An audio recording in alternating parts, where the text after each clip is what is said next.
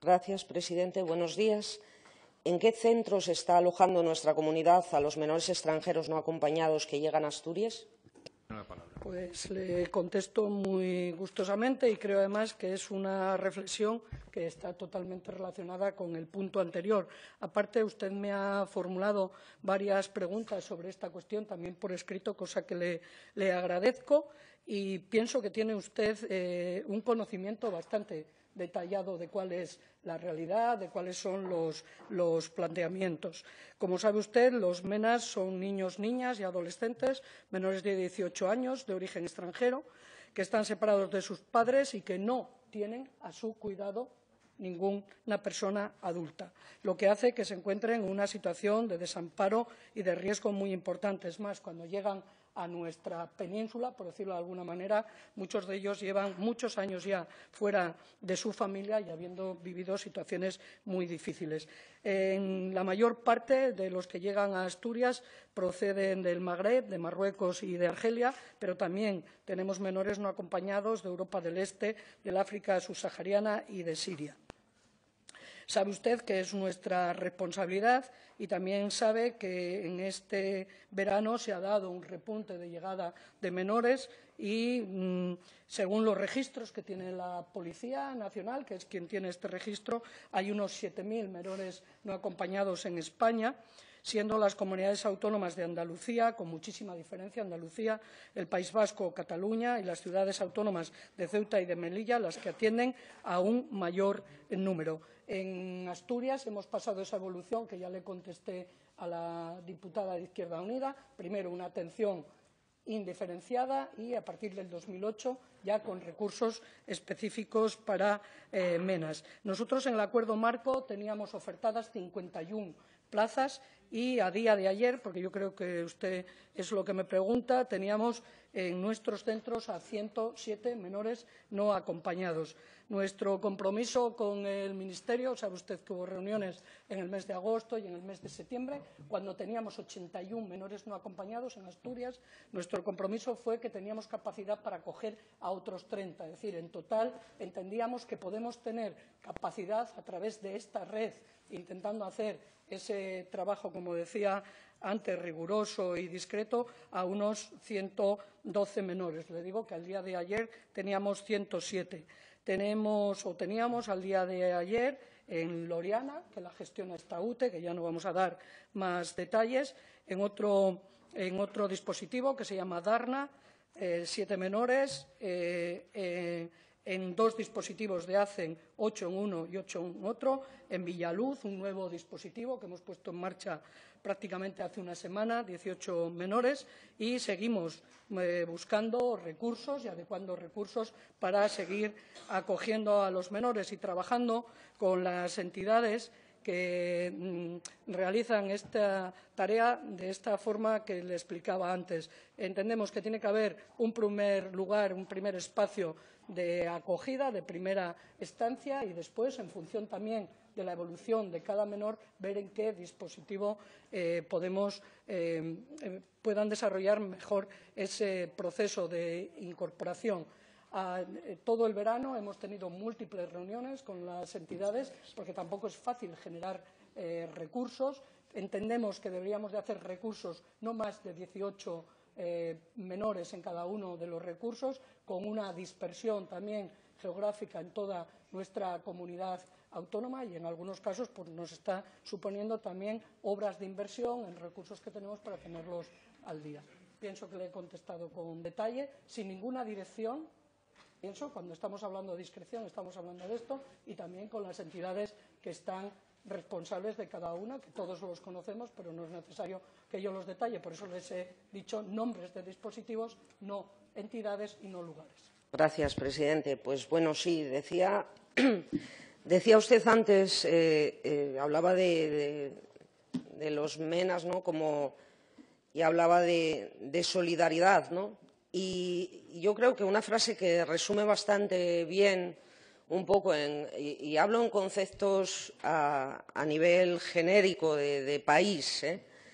pues que, que, resume bastante bien eh, cuál es, pues, cómo estamos haciendo la acogida de los menores extranjeros no acompañados es que no podemos, es la frase de no podemos abrir la puerta con la cadena echada, ¿eh? que es lo que un poco venimos haciendo.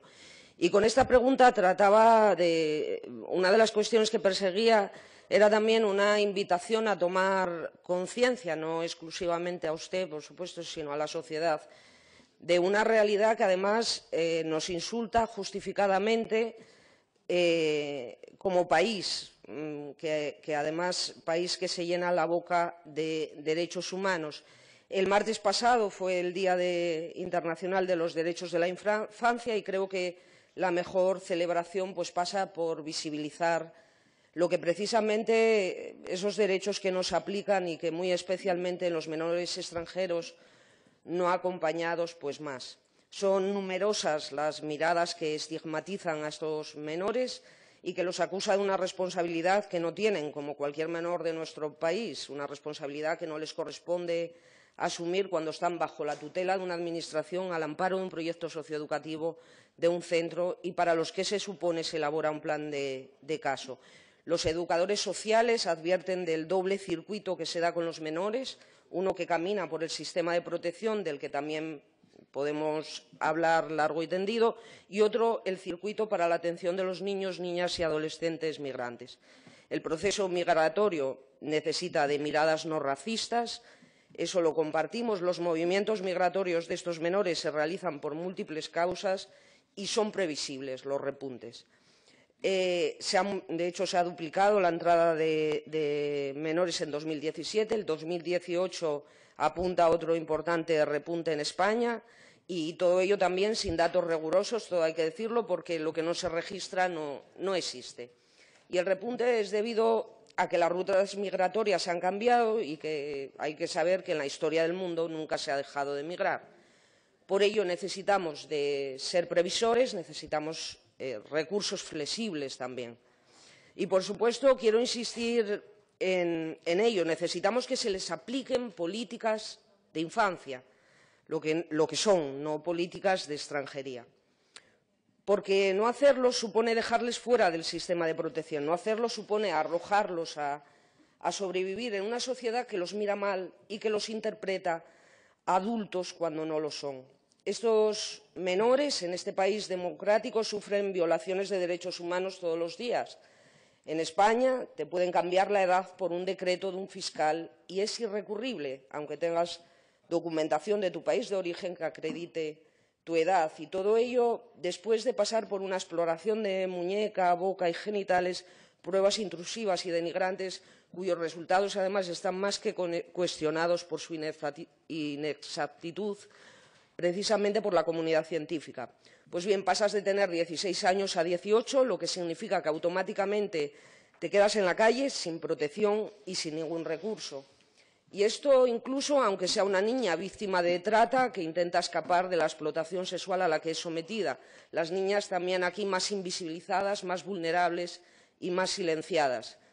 Y en el país de la igualdad, pues la determinación por decreto de fiscal solo se lleva a cabo con, los menores extranjeros no acompañados. Para el resto, disponemos de un juzgado para todo aquello que tiene que ver con nuestro Estado civil y con las garantías que en derecho procedan, por supuesto. No será porque no, hayan levantado la voz sobre esta barbarie las instituciones como el Defensor del Pueblo, la propia jurisprudencia de, del Tribunal Supremo, el propio Comité de los Derechos del Niño, que todavía en el informe de 2017 le dan algo más que un tirón de orejas al Gobierno de España. Porque hay un largo etcétera de vulneración de derechos de los menores extranjeros en nuestro país, derechos que tienen que ver con la escolarización, con la asistencia sanitaria, con la intervención socioeducativa, con el hacinamiento en algunos centros, la falta de ropa o calzado de transporte, incluso la falta de mediador o intérprete, a pesar de no comprender el idioma. Eh, supe por la prensa del de, Real Decreto aprobado el pasado octubre que ponía 40 millones a disposición de las comunidades autónomas que se comprometieron a acoger a más menores. Y, y, vi también que a Asturias le tocaron algo poco más de 370.000 euros con un incremento que usted me comentaba anteriormente eh, de, de alrededor de unos 31 menores. Le quería preguntar, ya, ya voy a finalizar, eh, esta partida económica, lógicamente, pues está dirigida a los menores que se tutelen en nuestra comunidad. Pero quería un poco preguntarle eh, si, nos puede informar pues, a través de qué tipo de recursos se va, se va, a hacer, si caben otras alternativas eh, o se están pensando en otras alternativas también a, a la acogida. Y, y quiero preguntarle también, porque las diferencias eh, en cuestión de, centros públicos y privados eh, también son, importantes, sobre todo en lo que tiene que ver con los ratios de personal. Yo no sé eh, si le parece, vamos, que, están y se están vigilando esos ratios en, los centros. Y quería preguntarle también si se conoce el registro total de menas que tenemos en Asturias y si se están constituyendo las tutelas de niños y, y niñas eh, automáticamente, como dice la ley, en nuestra comunidad autónoma, o si en nuestra comunidad autónoma tenemos eh, niños y niñas en el limbo jurídico. Y en cuanto a la, comunicación y coordinación con las comunidades autónomas, también me gustaría preguntarle si, si en el caso de Asturias pues fluye la salida en esas notificaciones de salida e entrada de, menores con otras comunidades. Y ya por último, también una, cuestión que me llamó poderosamente la atención y quería preguntarle cuál es la causa, si es que la tiene. ¿Por qué cuando le solicité una información acerca de si estaba prevista la contratación de, intérpretes en los centros públicos donde se estaban alojando menores extranjeros, así me constaba, y sin conocimiento ninguno del idioma, estos menores fueron trasladados a centros privados. ¿Esto fue casual o fue causa? Muchas gracias. Sí, no le entendí muy bien la, la, última cuestión.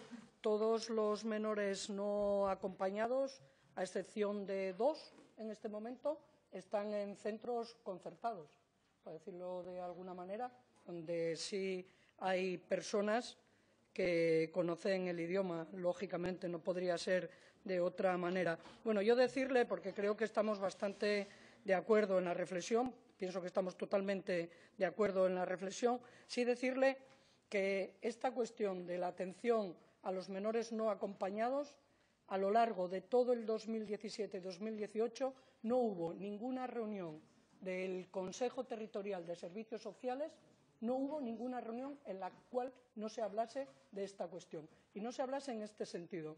Es una competencia de las comunidades autónomas, del, apartado en las comunidades autónomas de los servicios sociales y no vamos a ser capaces de dar una buena respuesta si esto no es una acción transversal. Necesitamos al Ministerio de Empleo. ¿Por qué no podríamos hacer programas específicos de incorporación al empleo con estos menores? ¿Por qué no dedicamos recursos de fondos europeos? Por eso tuvimos reuniones en ese equipo transversal que está trabajando esta realidad está el Ministerio de Empleo, el Ministerio de Justicia, usted ha hablado también del Ministerio de Justicia, el Ministerio de Inmigración, que en este caso es el mismo que el de Empleo, el Ministerio del Interior también, por supuesto. No puede ser solo una cuestión de es un menor, como es un menor, que la comunidad autónoma en su apartado de servicios sociales lo atienda. Registros los hay.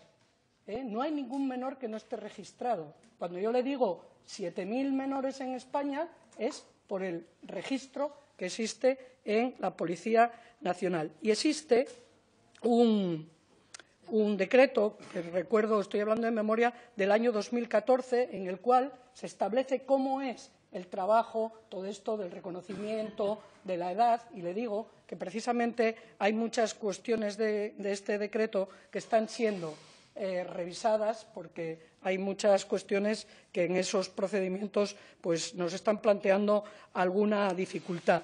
Y creo que también deberíamos de empezar a abordar el tema de los menores no acompañados también por franjas de edad. No es lo mismo tener 12 años que tener 16, que tener 17 para estos programas de los que le estoy hablando. Hombre, en la reunión que hubo el 6 de agosto, que nos convocó y estaba la ministra de, de Inmigración, de Trabajo, Valerio, desde luego lo que también dijimos las comunidades autónomas es que lo que necesitamos son recursos. Es decir, no podemos hacer esto sin medios materiales y sin medios humanos. De ahí viene la dedicación de estos 40 millones, de los cuales 40 millones, 26.300 son en Andalucía.